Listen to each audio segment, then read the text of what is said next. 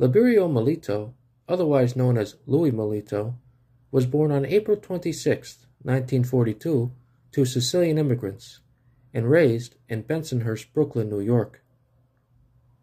In his youth, Milito would often carry out petty crimes and would eventually become a member of a street gang known as the Rampers. Milito was a small man, only standing at five foot seven inches, but was very muscular. In his twenties, Milito worked as a hairdresser at the Lou Art Beauty Salon. According to Milito's wife Lynda, Louis was an exceptionally skilled hairdresser, and she would always have him style her hair for her. To quote a passage from Lynda's book Mafia Wife, Louis had a real talent as a hairdresser, and I think he could have made a good career out of it. He knew how to make women look and feel their best. During this time, Milito was also involved in numerous criminal activities, notably trunking, which was the act of breaking into people's car trunks and stealing any valuables inside before selling them on the black market. Milito also ran a lucrative stolen car ring and was a very skilled lockpicker, picking the locks on phone booths and stealing the change. Milito would sometimes force his wife to act as a lookout while he was picking phones. In the mid 1960s, Milito began working for the Gambino crime family. Milito was very close to Gambino captains John Rizzo Sr and Salvatore Toddo Aurello, both of whom would mentor Milito into the cold blooded hitman he would eventually become. It was during this time that Milito allegedly murdered Jerry the Hawk, who was a Gambino associate and drug dealer whom the family believed could not be trusted. It is generally agreed upon that the killing of Jerry the Hawk was Milito's first murder.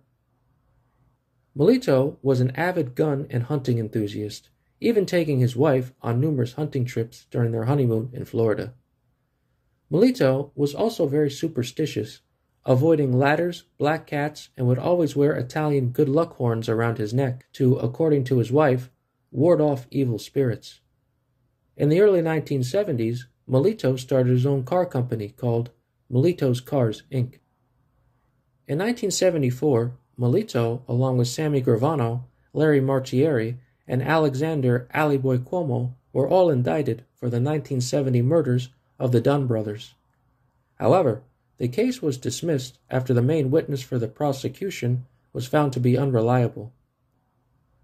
According to his wife Lynda, Louis was very soft spoken, sweet, and would often surprise her with gifts like flowers, chocolates, and jewelry. He would also show unrelenting love for his children, taking them on trips showering them with gifts, and had a great sense of humor, always telling jokes. However, Milito's persona would many times switch from kindness to pure viciousness, almost as quickly as switching on a light.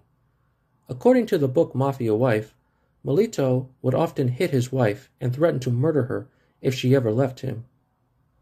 On one occasion, while Lynda was in the hospital recovering from a stomach ulcer, she asked Milito for a divorce, and to quote directly from Mafia Wife, Milito's response was, You say that word one more time, he said, and he was very calm about it, and I'll put you in a box ten feet under and tell your father you ran off with some guys to South America. He could make a threat like that, and the next minute put his arms around me and say that the best thing that ever happened to him was meeting me, and how sorry he was about everything I had gone through. One time, while Milito's children were playing outside, Milito chased after a carpenter he had hired with an axe, slicing a piece of his ear off. Another time, after learning from his son that a firecracker had gone off in the face of one of his friends, Milito went to the man who sold his son the firecrackers and beat him almost to death with a baseball bat right in front of his son and his friends. Milito was very close to eventual Gambino boss Paul Castellano, admiring him immensely as a man with old fashioned values. Castellano loved Milito equally, treating him like his own son. Apparently, when Sammy Gravano was to be transferred for the Colombo family to the Gambinos, Castellano, who was at the time a captain, was opposed to it, as he did not trust Gravano. However, Milito, who had been Sammy's best friend and partner in crime since their childhood days in the Rampers, defended him, and apparently was ultimately the one who convinced Castellano as well as Toddo Aurello, to allow Gravano into the family. Upon Gravano's entry into the Gambinos, he and Milito remained close, carrying out crimes together almost on a daily basis. Gravano had Milito participate in some of his most high profile murders, notably the killing of rogue Philly mob capo Johnny Keys Simone in 1980 and businessman Frank Fiala in 1982. Milito had a reputation for being fiercely loyal to his friends, especially Gravano. To quote from Mafia Wife, Louis had known Sammy for years and always felt the need to look out for him. Louis brought Sammy in on jobs for John Rizzo Sr., stealing the repaired jewelry from John Rizzo Sr.'s customers. This helped Sammy make a name for himself with the Gambinos. In the early 1980s, Milito loaned Gravano a substantial amount of money to purchase his horse farm in Crumville, New Jersey. Milito also took Sammy in as a partner in a steel firm he owned known as Gem Steel. Milito was so loyal to Gravano that he even hit his own wife after she made a crack about Sammy not being trustworthy. According to Mafia Wife, Milito would always say, quote, Lynda, I don't want to hear that. You will not go around disrespecting Sammy. Milito also worked extensively with Gambino soldier and eventual captain Roy DeMeo in his auto theft ring, as Milito would often sell DeMeo stolen cars with fake titles, which DeMeo would then ship to Puerto Rico. Around 1982, Milito and Gravano's relationship began to complicate as Paul Castellano, Milito's mentor, began expressing vocal disapproval of Milito's best friend. According to Mafia Wife, Milito would say, quote, Paul's got it in for Sammy. I don't know what to tell him. I'm not sure what he's getting at. He keeps asking me questions I can't answer. Today it was, What the fuck is Sammy doing? Why is he keeping everything? Keep Sammy away from here. We can't trust him. Don't bring him to the house. How do we know he's not a fucking rat?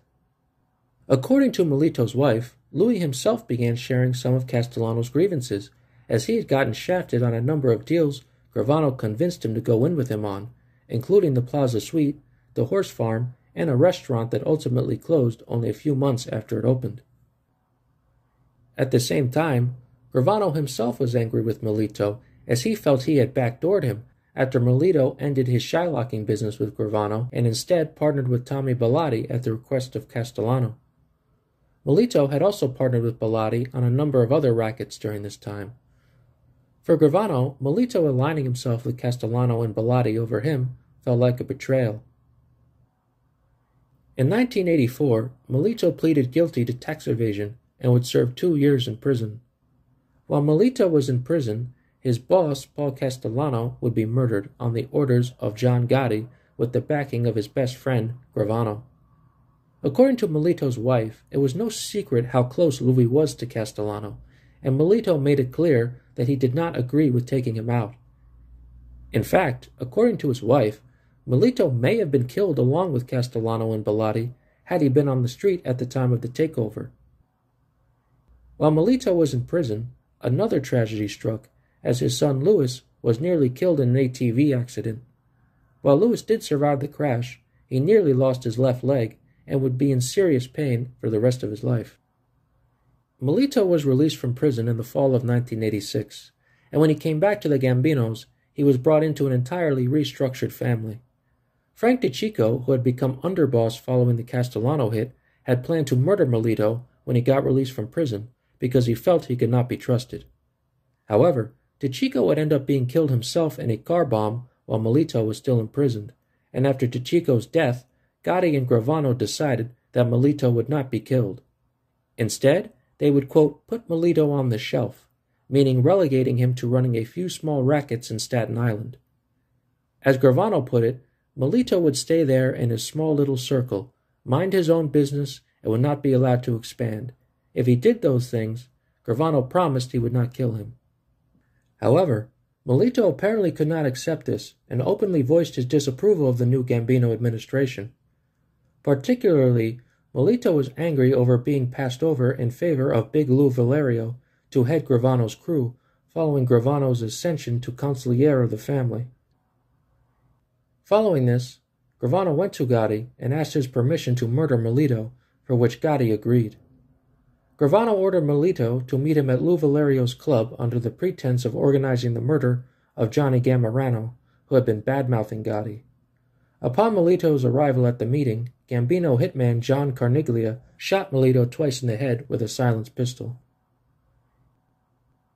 In the last few weeks of Milito's life, he expressed regret for the life he lived and the impact it had on his family. To quote from Mafia Wife, we were sitting at the kitchen table, and out of nowhere he said, I messed up your life, didn't I? Somewhat. Yeah, I know. Not just my life. Look at what we did to Louis. He started to cry. After this discussion, Milito and his wife agreed to end the marriage. On Valentine's Day 1988, Milito visited his wife, brought her a blue and silver balloon with a heart in the center of it. To quote again from Mafia Wife, Milito said, I know things about this world you don't know and you don't want to know, he said. It's a cold place. You have no idea how cold. But no matter what happens, you have to remember you are still my sweet girl. You know I love you. Always did, always will. Can't help it. Milito's body was never recovered, and following his disappearance, with bills piling up, Lynda went to Gravano for support. She knew that Milito had gem steel as well as his Shylock business, which Lynda estimated to be worth around $5 million. When asked about it, Sammy told her, quote, What Shylock business? He had this calm smirk on his face, as if he were answering a small child. It would later turn out that Gravano had given Milito's Shylock book to Huck Carbonaro. Gravano had also taken over Milito's Gem Steel Company and took over $1 million from it. In the end, Gravano gave Lynda $5,000 and never spoke to her again.